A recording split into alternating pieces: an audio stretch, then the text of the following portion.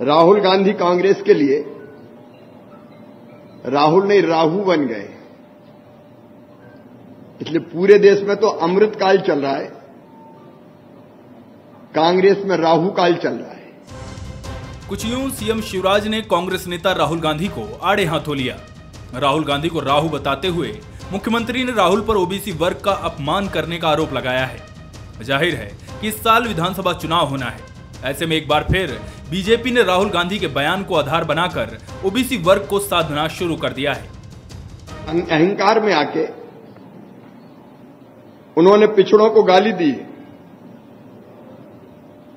और गाली भी ऐसी कि पूरी की पूरी जाति को उन्होंने चोर बता दिया। ये अहंकार नहीं है तो क्या है राहुल गांधी, बताएँ?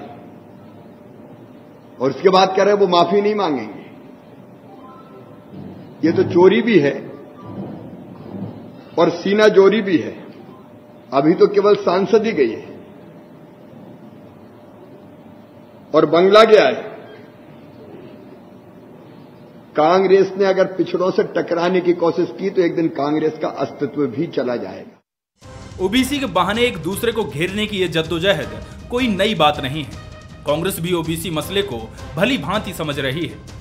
यही वजह है कि महाराष्ट्र के पूर्व मुख्यमंत्री पृथ्वीराज चौहान ने भोपाल में इस मसले पर कांग्रेस का पक्ष रखा और राहुल गांधी को बचाते नज़र आए। कोला की सभा में राहुल जी ने तीन चोरों के नाम लिए थे। उन्होंने कहा था कि इनके नाम नीरव मोदी ललित मोदी नरेंद्र मोदी का भी नाम लिया था। तो क्या नीरव ये मोदी लोग ये ओबीसी हैं क्या? ललित ललित मोदी ओबीसी है क्या? जो याचिकाकर्ता सूरत में पूर्णेश मोदी है, वो बनिया है। अब नरेंद्र मोदी जी की जाति का आप उल्लेख कर रहे हैं तो भारत के प्रधानमंत्री की अगर वो हिंदू होगा तो कोई ना कोई जात होगी। अगर प्रधानमंत्री पे आरोप लगाना, उस जाति पे आरोप लगाना अगर आप मानते हैं तो यह हास्यास्पद है। मध्य प्रदेश में ओबीसी वोटर्स चुनाव में जीत हार के बीच एक बड़ा अंतर पैदा करते हैं, क्योंकि प्रदेश में करीब इक्यावन फ़ीसदी आबादी ओबीसी है। प्रदेश की 230 विधानसभा सीटों में से 120 से ज़्यादा सीटों पर ओबीसी वर्ग का सीधा दखल रहता है। बीजेपी के तो उनतालीस विधायक भी ओबीसी से ही हैं। यहाँ तक कि एमपी में बीजेपी का सीएम चेहरा शिवराज सिंह चौहान भी पिछड़ा वर्ग से ही है। इसलिए एक बार फिर राहुल गांधी के बहाने ओबीसी को साधने की कवायद बीजेपी ने तेज कर दी है।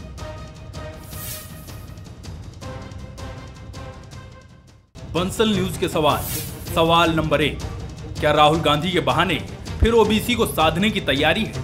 सवाल नंबर दो, क्या ओबीसी के मुद्दे पर बीजेपी ने कांग्रेस को फंसा दिया है? सवाल नंबर तीन, क्या विधानसभा चुनाव से पहले कांग्रेस इसकी काट निकाल पाएगी? नमस्कार, मैं हूँ शरद द्विवेदी और आज का हमारा मुद्दा है राहुल बहाना, ओबीसी पर निशाना।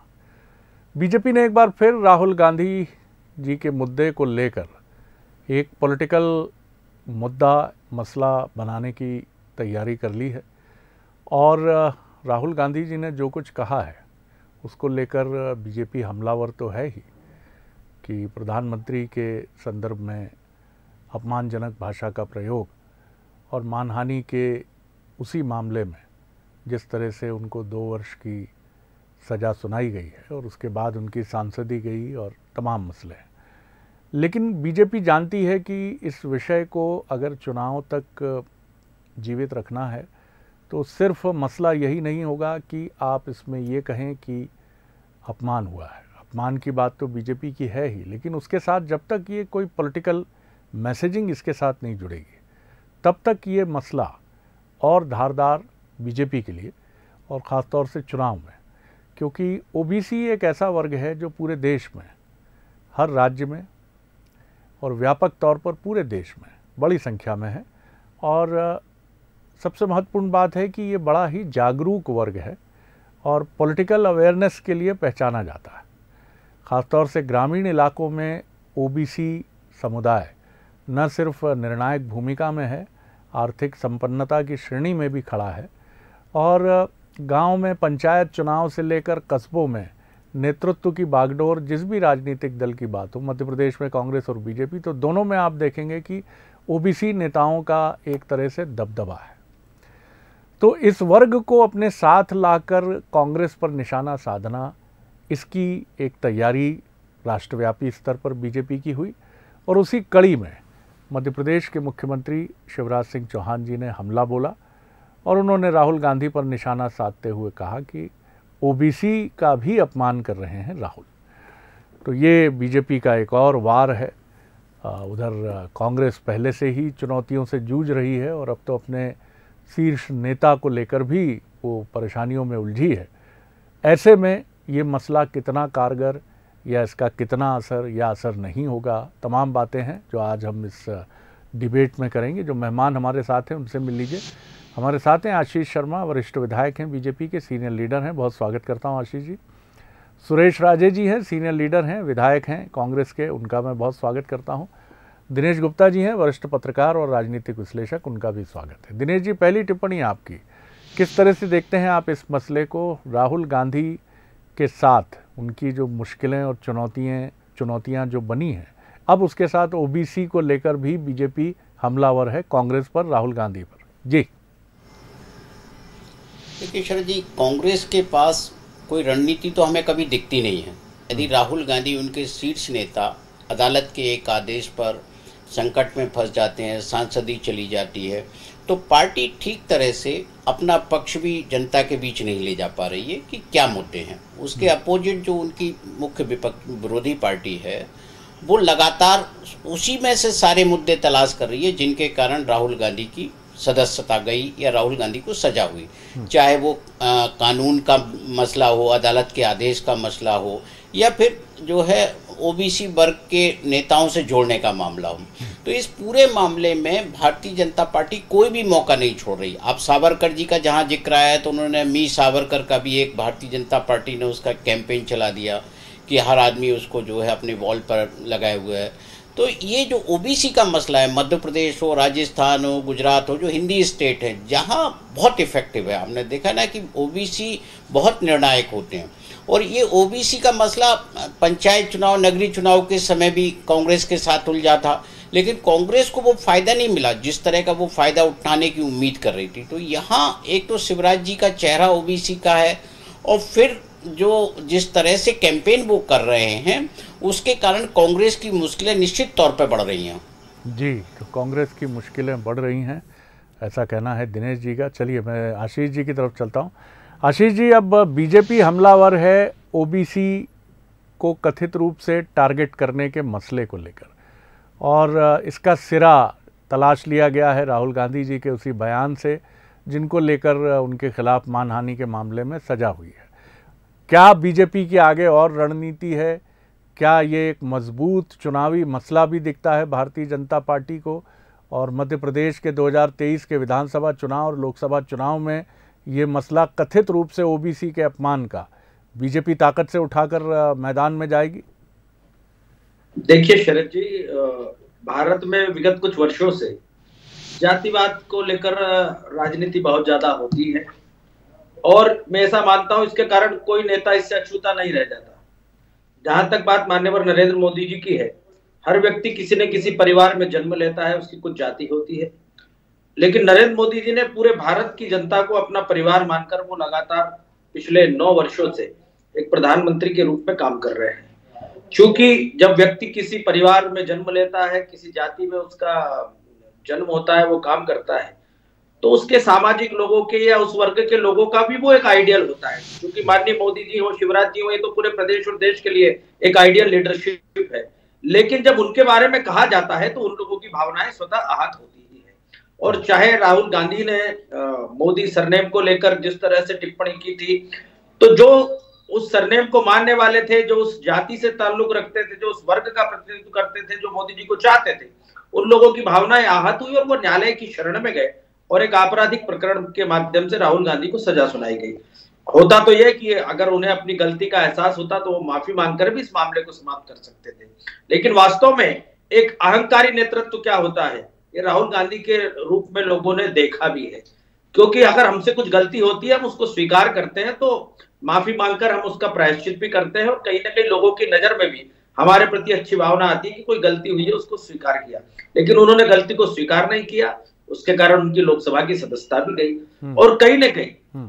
कांग्रेस में जो पिछड़ा वर्ग की राजनीति करने वाले नेता है उनको भी इस बयान को लेकर राहुल गांधी से बात अवश्य करना चाहिए क्योंकि कांग्रेस में बड़े बहुत सीनियर लीडर हैं जो उनके पिता और उनकी दादी के समय से उनके साथ काम कर रहे हैं। अगर वो भी उनको कहते तो लगता कि कम से कम पिछड़ा वर्ग के हितों की बात कांग्रेस में करने वाले लोग। सुरेश राजे जी आपकी तरफ़ में आता हूँ। अब आ, मसला बिल्कुल साफ़ है। कि बीजेपी अब इसे बहुत ताकत से, ओबीसी राजनीति से जोड़कर इस मसले को चुनाव मैदान में भी उतरेगी। तो अब उसने उसको दोहरी धार देने की कोशिश की है इस मुद्दे को। प्रधानमंत्री जी के कथित अपमान के विषय से भी इसको जोड़ा है और दूसरी तरफ़ इसको कथित रूप से ओबीसी के अपमान से भी जोड़ा है। क्या कहेंगे? देखिए तो मैं बहुत उससे सुन रहा था, मैंने मानी जी की बात करी हमारे वरिष्ठ विधायक उनकी भी बात सबसे पहले जो विषय है जो प्रदेश के मुखिया सम्मान्य मुख्यमंत्री जी ने कहा तो मैं उस बात का जवाब देना चाहूँगा हम्म। कि राहुल जी कांग्रेस के लिए राहु बन गए। मैं कह रहा हूँ मैं इसके उल्टा कह रहा हूँ। कि शिवराज जी भाजपा के लिए राहु थे, राहु हैं और आगे होने वाले भी हैं। दो हज़ार अठारह में इन्हीं के चेहरे पे चुनाव हारी थी भाजपा। और जिसका ये दम भर रहे हैं ना झूठी बात को लेके, कोई दिक्कत नहीं है। छह आठ महीने बाद जनता वो तय कर देगी कि क्या जनता चाहती है। अब आती है विषय के किसका अपमान करने की तो भेजी मैं आपके माध्यम से पूछना चाहता हूँ। राहुल जी ने क्या कहा? भाई, ललित मोदी कौन? कौन? आप बताइए ना कौन? ओबीसी के हैं। तो ये ये कहना और देखिए ये हमारी भाषा में हमारे चंबल क्षेत्र में होता है चेत्रा का भूत बनाना। चेत्रा का भूत हम उसे कहते हैं ये जब पशु पक्षी उसमें आते हैं ना फ़सल में खड़ी फ़सल में तो हम एक चेतना का भूत बना के खड़ा कर देते हैं। हम्म। तो भारतीय जनता पार्टी ये चेतना का भूत बनाने की कोशिश कर रही है ना ओबीसी के नाम पर। हम्म। ये जनता सब जानती है जनता जवाब देगी और जिस बात को लेकर ये इतरा रहे हैं ज़्यादा दिन दूर नहीं है दम से लगे जितनी कर सकते हैं कोशिश कर लें। ओबीसी का अपमान की बात कर ले की प्रधानमंत्री के अपमान बात करें। प्रधानमंत्री जी ने किस किस के बारे में क्या नहीं बोला? कभी उसके बारे में विचार किया? सोनिया जी के बारे में क्या नहीं बोला? उसके बारे में कभी बात हुई? परिवार के बारे में क्या नहीं बोला? कभी उसके बारे में बात हुई? भारतीय जनता पार्टी ज़ीरो पर खड़ी है। भारतीय जनता पार्टी विकास की बात नहीं करती। भारतीय भारतीय जनता पार्टी महँगाई की बात नहीं करती। अगर भारतीय जनता पार्टी कोई बात करती है तो सिर्फ़ और सिर्फ़ विवादित मुद्दों पर बात करती है। हम भारतीय जनता पार्टी का सामना करने तैयार है। चाहे जैसे बखेड़े खड़े कर ले हम ओबीसी के मुद्दे पर भारतीय जनता पार्टी का सामना करने तैयार है। चलिए। हम प्रधानमंत्री के अपमान की बात करने पे भारतीय जनता पार्टी का सामना करने तैयार है। मैंने कहा ना भारतीय जनता पार्टी तरफ़। की हर वो हम्म। कोशिश नाकाम करेगी जनता। ये वक्त बताएगा। ये उन्होंने किया है ये तो अपना पाप झुपाने के लिए। चलिए। अपनी गलती मैं लौटता हूँ लौटता हूँ आपकी तरफ़। दूसरे दूसरे राउंड पे हम फिर एक एक एक क्वेश्चन एयर के साथ फिर लौटेंगे। दिनेश जी अभी विकास की बात कर रहे थे सुरेश राजे जी। महत्वपूर्ण बात इस समय क्या लगती है आपको कि क्योंकि हमने देखा इंदिरा गांधी बहुत ताकतवर लीडर रहीं, लेकिन सतहत्तर में उनको भी हार का सामना करना पड़ा और मसले कई थे। बहुत सारे मसले थे। आपातकाल था, तथाकथित मनमानियाँ थीं। इसके साथ संजय गांधी जी जो उनके पुत्र रहे उनके, उनको लेकर भी आक्षेप और आरोप लगे। लेकिन कोई मज़बूत मुद्दा अगर आप किसी भी सरकार या उसके मुखिया के खिलाफ खड़े होने की कोशिश करते हैं, राहुल जी को क्या आपको लगता है कि स्ट्रैटेजी क्या होनी चाहिए?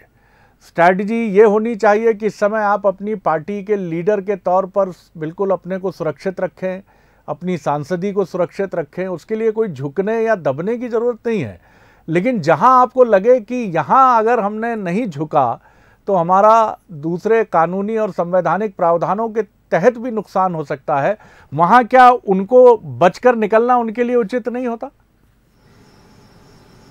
निश्चित तौर पर देखिए, राजनीति में आप यदि कई बार एक कदम आगे पीछे बढ़ाते हैं तो दो कदम पीछे भी खींचने पड़ते हैं। लेकिन राहुल गांधी जी की आप शुरू से राजनीति देखिए, जब से वो राजनीति में आए हैं वो एक रिजिड तरीके से अपनी राजनीति करा रहे हैं कि मैं जो है, जिस तरह से फैसले लूँगा, उसी तरह से आपको स्वीकार करने होंगे। आप चाहे वो एन का हो, यूथ कांग्रेस का हो, जिस तरह से उन्होंने इलेक्शन का प्रोसेस स्टार्ट किया, उससे ये जो महत्वपूर्ण संगठन थे कांग्रेस पार्टी के, वो कहीं ना कहीं कमज़ोर हुए। फिर उनके हिसाब से जो लीडरशिप होनी चाहिए राज्यों में, वो बहुत ज़्यादा कोई असर कारक नहीं रही। तो उनको सबसे पहले तो जो ज़रूरत ये थी कि वो पहले अपने जो राज्य की इकाइयाँ हैं, उनके जो लीडरशिप है, छत्रप है, उनको पहले जो है अपना दुरुस्त करते, उनको मज़बूत करते। तो मुद्दे तो आपको उन्हीं लोगों से मिलेंगे जो आपके इर्द गिर्द होंगे। यदि आपके पास कोई कोटरी होगी तो आपको वो अपने हिसाब से मुद्दे बताएगी। यदि जो कोई ज़मीनी नेता होगा तो वो अपने हिसाब से मुद्दे बताएगा कि इलेक्शन के हिसाब से क्या इफ़ेक्टिव है।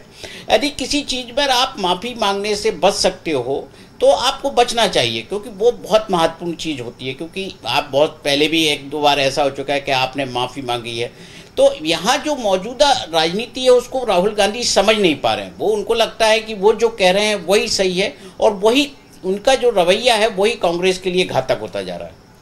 ये एक बड़ा सवाल है कि क्या उनका रवैया, ये राहुल जी और उनकी टीम, हम ये नहीं कहते कि उनकी विजडम या उनकी बुद्धिमता पर सवाल उठाने वाला मीडिया या चौथा स्तंभ कोई टिप्पणीकार अहम हो सकता है, लेकिन अपनी राय रखने का अधिकार सभी को है।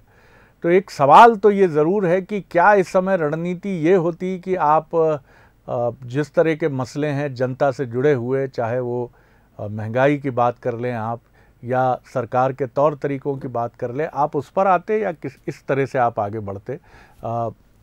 आशीष जी, ये बताइए मुझे कि ये जो मुद्दा आपने इसको जोड़ने की कोशिश की है ओबीसी से। जिस तरह से अभी सुरेश राजे जी भी कह रहे थे और उसके पहले सीनियर कांग्रेस लीडर पृथ्वीराज जी भी ये बात कह रहे थे कि जिन नेताओं के नाम, नेताओं ने सामाजिक जीवन में या क्रिकेट से जुड़े हुए या उद्योग घराने से जुड़े हुए लोगों के नाम लेकर उन्होंने टिप्पणी की है, जिसमें प्रधानमंत्री का भी नाम कथित रूप से उन्होंने शामिल किया है। उसमें प्रधानमंत्री जी को छोड़कर बाकी लोग ओबीसी समुदाय से नहीं हैं, बल्कि दावा तो ये भी है कि याचिकाकर्ता भी ओबीसी समुदाय से नहीं है। ऐसे में ये मसला आपका स्टैंड कितना करता है? देखिए, मोदी जी के परिवार के बारे में सब लोग जानते हैं, और जिस तरह से उन्होंने मोदी सरनेम का उपयोग किया इस बात के लिए मोदी एक ब्रांड है। आज की तारीख में अगर मोदी शब्द की आप बात करोगे तो लोगों का संकेत नरेंद्र मोदी जी की तरफ़ ही जाएगा। हम्म। क्योंकि वो नाम और वो ब्रांड अपने आप में एक अंतरराष्ट्रीय स्तर का नाम और ख्याति प्राप्त व्यक्तित्व बन चुका है। और इसलिए मोदी सरनेम हो शर्मा सरनेम हो वर्मा सरनेम हो गुप्ता सरनेम हो जो भी हो जिनके उस जाति में पैदाइश है जो उस जाति को मानते हैं जो उस जाति के लोग हैं कहीं ना कहीं अगर आप किसी को सार्वजनिक रूप से अगर टारगेट करोगे तो स्वाभाविक है कि उस समाज वाले, उस समाज के जो लोग के जो लोग हैं, उनकी भावनाएँ को ठेस पहुंचेगी पहुंचेगी। और इसलिए नरेंद्र मोदी जी की जाति को या नरेंद्र मोदी को लेकर जिस तरह से राहुल गांधी ने टिप्पणी की, कहीं ना कहीं वो ओबीसी पर एक बहुत कठोर टिप्पणी मानी गई। और इस कारण से आपने देखा होगा, आया था। उसके बाद भी पूरे भारत में कई जगह चाहते तो वो उस समय इसको अपनी माफ़ी से मामले को ठंडा कर सकते थे। लेकिन निश्चित ही पिछड़ा वर्ग में इस बात को लेकर बहुत आक्रोश है। माननीय मुख्यमंत्री जी ने आज इस मामले में अपना बयान दिया ही है। कांग्रेस को और कांग्रेस के जो ओबीसी के नेता हैं उनको अवश्य मामले में माफ़ी मांगना चाहिए। हम्म, चलिए। सुरेश जी जैसे हम शतरंज में देखते हैं कि हमेशा आप अपने जो उच्चतर स्तर के मोहरे होते हैं चाहे आप राजा की बात करें या रानी की बात करें, आप उनको हमेशा बचाते हैं। आप अगर ताश की बात करें तो वहाँ भी यही कोशिश होती है कि आप अपने महत्वपूर्ण कार्ड्स को बचा कर चलें। रणनीति, फिर वही प्रश्न है कि रणनीति क्या ये नहीं थी कि राहुल गांधी अपने को कुछ ऐसी उलझनों की तरफ़ न ले जाएँ। जिसका फ़ायदा कितना मिलेगा ये तो वक्त बताएगा, लेकिन नुकसान ये है कि संसद में अब आप नहीं हैं। भले ही पूरी कांग्रेस ये आरोप लगा रही है कि इसके पीछे बीजेपी की कोई दृष्टि या सोच है। लेकिन ये समय क्या खुद अपने टॉप लीडर को संकट में डालने का है या उनकी खुद की सोच से आप संकट पैदा कर रहे हैं? इस पर आपकी राय बहुत अहम है। देखिए द्विवेदी, मेरा कहना है, हमारा ये है कि भारतीय जनता पार्टी कभी मुद्दों के चुनाव आज तक नहीं लड़ी और ये जैसे मुद्दा बनाना चाह रहे हैं ना ये तो आने वाला वक्त बताएगा। अब विषय है, कभी ये बिजली की बात नहीं करते। कभी ये जितने जो है, साठ साल से ऊपर के लोगों को पेंशन देंगे। पेंशन की ज़रूरत कब पड़ती है? साठ साल तक पेंशन देंगे, उसके बाद देंगे नहीं। और ये तरह तरह के हरकत देखिए, भारतीय जनता पार्टी की बौखलाहट है। जहाँ तक सवाल राहुल जी का है तो वो कोई मामला इतना गंभीर था नहीं। और जिस याचिकाकर्ता ने जिस मामले में रोकने के लिए हिस्से ले रखा था, फिर वही याचिकाकर्ता ने उसी मामले को दोबारा से ओपन कराया फिर इतनी जल्दबाजी में हमको, देखिए, संविधान में भी ये प्रावधान है, कानून में भी ये प्रावधान है, एक महीने तक हम अपील में जा सकते थे, लेकिन सरकार ने क्या किया है? मतलब एक महीने का इंतज़ार करने की जगह, दो दिन में सदस्य बर्खास्त अब आ जाओ, बंगले खाली की बात, बंगला कोई बहुत बड़ा इशू नहीं है। अगर ऐसे बंगले खाली कराएँगे तो मैं कह रहा हूँ ना, मोदी सरकार के आधे से ज़्यादा पूर्व मंत्री बंगला कह हैं दिल्ली में। कितने लोग बंगला कह हैं? और प्रदेशों में चले जा एक बार नहीं दस दस साल जिनको हो गए, चुनाव हारे, वो लोग, वो पूर्व मंत्री बंगला कह बैठे राज्यों में। ये, देखिए, दोहरा मापदंड नहीं चलेगा। और किसी भी तरह का अखंडा भाजपा अपना ले। वाली नहीं है। हम बेवजह की बात पर झुकने वाले नहीं है। अगर आपको जहाँ लगेगा कि हमारे द्वारा कोई गलती हुई है, एक बार नहीं हज़ार बार गलती मनाएँगे। लेकिन अगर भारतीय जनता पार्टी चाहे कि झुका के, डरा के, धमका के, केस लगाकर कांग्रेस की, राहुल जी की बात नहीं है। ये पूरी कांग्रेस पार्टी की बात है। फिर तो ये पूरी पार्टी को झुका देंगे। पूरी पार्टी से माफ़ी मांगवाएँगे देखिए, हम फिर कह रहे हैं ओबीसी का कोई मुद्दा नहीं है। ओबीसी का कोई मतलब नहीं है। लेकिन आखिर तो आपको चुनाव में पता लगेगा। जी आखिर जी मैं भी यही हूँ। आप भी यही हो। चुनाव में पता लगेगा। चुनाव में आपको क्या पता लगेगा। आप जो झूठा ओबीसी का ढिंडोरा पीट रहे हो। जो झूठा ओबीसी के एसएससी बन रहे हो। सत्ताईस परसेंट आरक्षण हमारे कमलनाथ जी ने दिया। उसको हमने बेईमानी आपके नेताओं ने जितना कमेंट लेता हूँ जल्दी से वक्त कम है मेरे पास। वक्त बहुत कम है वक्त बहुत कम है। दिनेश जी बड़ा सवाल ये है कि नब्बे में लालकृष्ण आडवाणी रथ यात्रा लेकर निकले। सतहत्तर में जनता पार्टी की सरकार बनने के बाद अस्सी में जब फिर इंदिरा जी लौटी तो उसके पहले बिहार में कथित रूप से दलितों पर हुए किसी अत्याचार के मसले को लेकर उन्होंने एक दूर दराज के गाँव की यात्रा की और जहाँ ये भी कहा जाता है कि कीचड़ काफ़ी था तो कहीं से हाथी की व्यवस्था करके वहाँ बैठकर उनको उस गाँव तक पहुँचना पड़ा, जो बहुत दुरूह गाँव था। यानी मुद्दा अगर नेता से खुद जुड़ जाता है तो शायद उसका प्रभाव कितना होता है, ये विश्लेषण का विषय है। चाहे वो अटल जी से जुड़े, चाहे वो राहुल जी से जुड़े या इंदिरा जी से जुड़े, व्यक्तिगत तौर पर। तो आपको क्या लगता है, क्या ये भी एक बीजेपी के ट्रैप में कांग्रेस आ जाती है कि कांग्रेस राहुल जी को लेकर ही उलझ गई है इस समय, जबकि चुनाव नज़दीक हैं विधानसभा के भी, लोकसभा के भी तो आपको मुद्दे राष्ट्रीय स्तर के विषय और राज्यों में केंद्रित विषय उठाने थे? बिल्कुल शरद जी कांग्रेस ने जो मुद्दा उठाया, वो उस मुद्दे को अभी तक ठीक से लोगों को बता भी नहीं पा रही है कि उसने जो चीज़ मंच से कही उन्होंने राहुल गांधी ने, वो थी क्या और निर्णय क्या है? अब देखिए कि कांग्रेस पार्टी तुरंत ट्रैप में आ जाती है और सफ़ाई देने लगती है। यदि वो ओबीसी के मसले को जितना जवाब देगी जितना बचाव की कोशिश करेगी तो जो मूल मुद्दा था जिसको राहुल गांधी ने उठाया था वो मुद्दा फिर पीछे खिसक जाएगा। जिसको लेकर राहुल गांधी लगातार हमलावर हैं संसद में भी हैं उन्होंने संसद में भी बयान दिए सभी जगह दिए। लेकिन जो कांग्रेस पार्टी की एक वॉइस होना चाहिए नीचे तक वो देखने को नहीं मिलती। बिल्कुल आपने ठीक कहा और यही सबसे बड़ा सवाल है कि आखिर आप इन विषयों को किस तरह से रखना चाहते हैं? अगर आप, क्योंकि ये बीजेपी के लिए कहा जाता है कि वो चाहती है कि प्रधानमंत्री की आलोचना कांग्रेस करे और उसमें वो मानक भी काफ़ी नीचे के अगर इस्तेमाल करती है तो उससे बीजेपी को और फ़ायदा होता है। क्योंकि इस समय ये आंकड़े भी बताते हैं, तथ्य भी बताते हैं और राष्ट्रीय, अंतर्राष्ट्रीय स्तर के कई सर्वे ये बता चुके हैं कि मोदी जी इस समय अपनी लोकप्रियता के सर्वश्रेष्ठ समय के साथ आगे बढ़ रहे हैं। और जब कोई नेता इस तरह से आगे बढ़ता है तो उसकी आलोचना उसको भी और उसकी पार्टी को भी फ़ायदे में पहुंचाती है। तो इस समय रणनीति क्या होनी चाहिए? प्रधानमंत्री की आलोचना या उन मुद्दों को लेकर आगे बढ़ना और अपने को सुरक्षित रखना और संसद में अधिक से अधिक समय लेने की कोशिश करना ये मुद्दों के बजाय हो सकता है कांग्रेस ऐसा सोच रही हो और आगे उसकी रणनीति में ये रिफ्लेक्ट हो। अगर ऐसा होता है तो लगता है कि ये एक सही मुद्दा है, लेकिन इसमें सबसे बेहतर निर्णय करने वाली और आगे बढ़ने वाली अगर कोई पार्टी है, कोई संगठन है तो वो कांग्रेस ही है। बहुत शुक्रिया दिनेश जी, बहुत धन्यवाद सुरेश राजे जी, बहुत धन्यवाद आशीष शर्मा जी। आगे देखिए छत्तीसगढ़ आज का मुद्दा रूठा है तो मना लेंगे। नमस्कार।